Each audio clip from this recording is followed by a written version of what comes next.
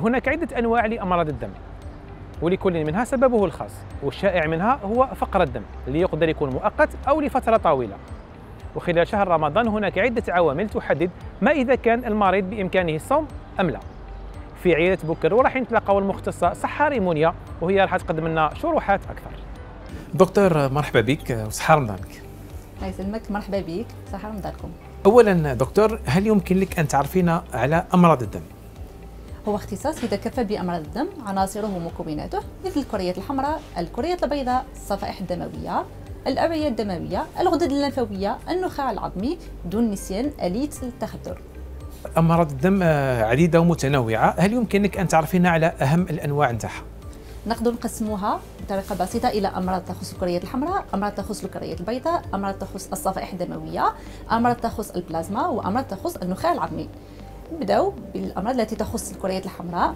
منها ما ينتج عن زيادة الكريات الحمراء هي la polyglobulie ينتج عنه احمرار في الوجه ودوار وصداع طنين في الأذن.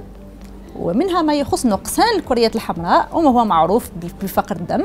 نقدر نقسموه إلى جزء آه، فقر الدم الوراثي وفقر دم مكتسب الوراثي مثل فقر الدم المنجلي la drépanocytose نعم. ومرض الثلاسيميا فقر الدم المكتسب نقدر نقسموه على حسب الأسباب تاعو إلى فقر دم ناتج عن نقص الحديد فقر الدم ناتج عن نقص حمض الفوليك والفيتامين بي 12 وهناك آه، فقر دم مكتسب ناتج عن وجود أجسام مضادة ضد الكريات الحمراء اللي هي l'anémie hémolytique auto-immune. الأمراض التي تخص الكريات البيضاء زيادة الكريات البيضاء. c'est l'hyperleucocytose نشوفها في حالات الالتهابات التعفنات اللوكيميا وأمراض الليمفاويات وكاين أمراض اللي تخص نقصان الكريات البيضاء وهي la leucopénie. في هذه الحالات تكون نقص المناعه عند المريض. الأمراض التي تخص الصفائح الدموية زيادة الصفائح الدموية c'est la thrombocytose وهذا يحدث عنه كنتيجة تجلطات في الأوعية الدموية. نقصان الصفائح الدموية c'est la thrombopénie وهنا يكون خطر تاع النزيف الدموي الأمراض التي تخص البلازما منها ما يكون فيه نقص في عوامل التخثر مثل الهيموفيليا A و B. منهم يكون فيه زيادة في عوامل التخثر ما يؤدي إلى الجلطات la thrombose veineuse et la coagulation disséminée وفي الأخير عندنا أمراض النخاع الشوكي الأكثر شيوعا c'est l'aplasie médullaire وهي عدم قدرة النخاع الشوكي على إنتاج آه، مكونات الدم.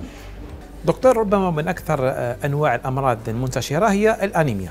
هي الأكثر شيوعا ما بين أمراض الدم آه، وخاصة فقر الدم الناتج عن نقص الحديد وهو الأكثر شيوعا عند النساء والرجال. وهناك عدة عوامل تؤدي هذا المرض سواء كان سوء التغذية أو نقص التغذية النزيف الدموي أو نقص الامتصاص في الجهاز الهضمي. ونحن في شهر رمضان هل للمصاب بهذه الأمراض يمكن له الصيام بشكل عادي؟ عندما يكون فقر الدم حاد لا يمكن للمريض أن يصوم رمضان. عندما تكون دي سين دانتوليرونس أي انخفاض كبير في الضغط الدموي أو تسارع كبير في نبضات القلب أو ضيق تنفس شديد مع آلام الراس شديدة والصداع والدوران في هذه الحالة ثاني لا يمكن للمريض انه يصوم أما إذا كان فقر الدم مشخص وخفيف والمريض عنده دواء تاعو فهنا يستشير الطبيب تاعو يمكن له أن يصوم مع جزء تغيير في أوقات أخذ الدواء يعني أخذ الدواء دكت- دكتور يعني أقلمه مع وقتي الإفطار والسحور والسحور نعم, نعم. نعم. بالضبط وأكيد دكتور يعني الرجوع إلى الطبيب من أجل المو... الحصول على الموافقة من أجل الصيام أمر جد ضروري. هذا ضروري لازم. في حال السماح للشخص الذي يعاني من أحد هذه الأمراض ما هي الإجراءات الوقائية الواجب عليه اتباعها؟ اولا الالتزام بمواقيت أخذ الدواء نقص من الراحة آه، عدم ممارسة الرياضة أثناء النهار وخاصة التغذية السليمة والصحية. فيما يتعلق بالتغذية السليمة دكتور آه، إحنا في شهر رمضان معروف أنه النظام الغذائي يتغير حتى الحياة اليومية لل- للصائم تتغير. ما هي الأغذية الواجبة على المريض بهذا أحد هذه الأمراض؟ أن يتابعها أو أن يركز عليها في أثناء الصيام. ننصح المرضى تاعنا يبداو على حبات من التمر مع كأس من من الماء لتنشيط الدورة الدموية ننتقل للوجبة الرئيسية. يجب أن تكون معتدلة متوازنة. وتحتوي على بروت- بروتينات نباتية حيوانية. وسيرتو نركزوا على الأغذية التي تحتوي على كمية من المعادن والفيتامينات مثل السلطات مثل الفواكه. ونذكروا ديما المريض بشرب كميات كبيرة من السوائل بين فترة الإفطار والسحور. وربما تأخير السحور أيضا دكتور. نعم هذا ضروري أكيد. دائما في حالة الصيام ما هي الأعراض في حال ظهورها على الصائم المريض؟ يجب عليه أن يفطر يعني فورا. عند انخفاض في الضغط الدموي دوار وصداع شديد تسارع كبير في ضربات القلب وضيق التنفس في هذه الحالة يستشير المريض الطبيب تاعو ليسمح له بالإفطار في الأخير دكتور ما هي النصائح اللي توجهيها للمصابين بهذا المرض خلال الشهر الفاضل؟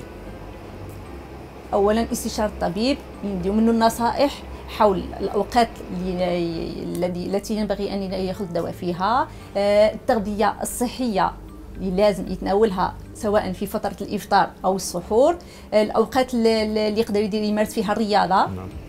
ودائما الاستشارة الطبية ضرورية في شهر رمضان. الرياضة ما تشكلش خطر دكتور لكن باحترام المواقيت المواقيت فوالا واتباع النصائح المقدمه من طرف الطبيب.